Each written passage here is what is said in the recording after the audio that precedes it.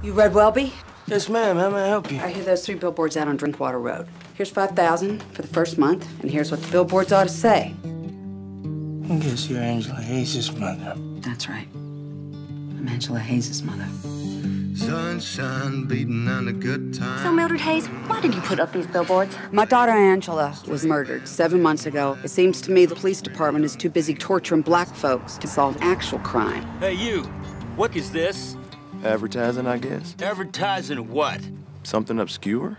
I'll say. I don't think those billboards is very fair. Time it took you to get out here. Some other poor girl's probably out there being butchered right now.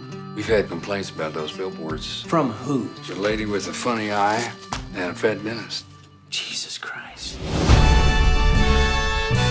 The town is dead set against these billboards. Took a poll, did you, Father? Go, girl. Looks like we got a war on our hands. You take me down and arrest me. I got nothing to arrest you for.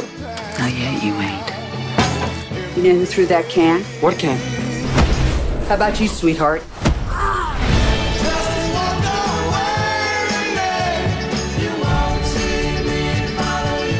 Ain't life crazy? This anger, man, just begets greater anger. This time, the chick ain't losing.